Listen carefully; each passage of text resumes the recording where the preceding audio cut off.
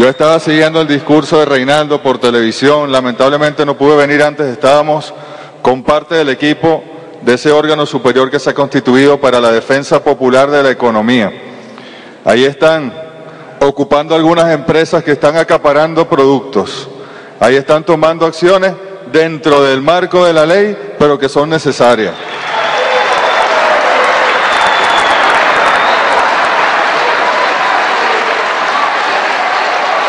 Y el pueblo, como bien lo dijo el presidente Nicolás Maduro, el pueblo organizado tiene que ser el protagonista de ese proceso de defensa popular de la economía. Defensa popular. Ustedes son los primeros llamados a hacer Contraloría para que el venezolano cuente con su producción y con la importación de productos que hace el Estado y que hacen algunos empresarios honestos y que de ello depende nuestra alimentación. Nosotros hemos sido sometidos a una guerra económica, ustedes lo saben. ¿Desde cuándo? Desde el año 2001, desde el año 2000 tal vez. No es ahorita. Ahora ellos arreciaron porque ellos tienen sus fases, sus etapas.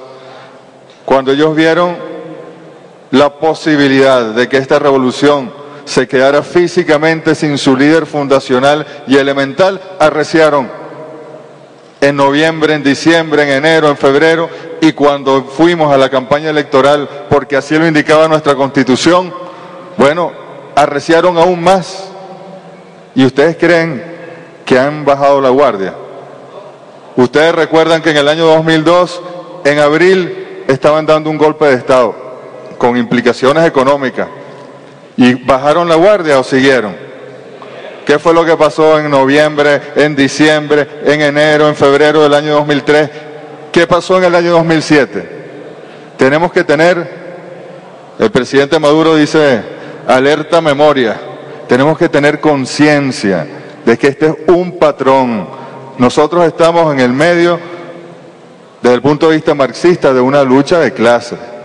Es una clase que tuvo todos los privilegios y que le expropió todos los derechos a un pueblo y que esa clase, bueno, se resiste a perderlos y apela a lo que apela el capitalismo, el neoliberalismo y el fascismo. A cualquier estrategia, no importa el fin, el medio que justifique que nosotros retengamos o recuperemos los privilegios va a ser utilizado. Pero para eso está el pueblo, para eso están ustedes.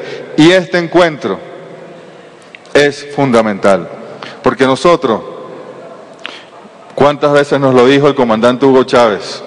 Bajo la teoría gramsciana, no ha muerto aquello que tiene que morir y no ha nacido por completo aquello que tiene que nacer.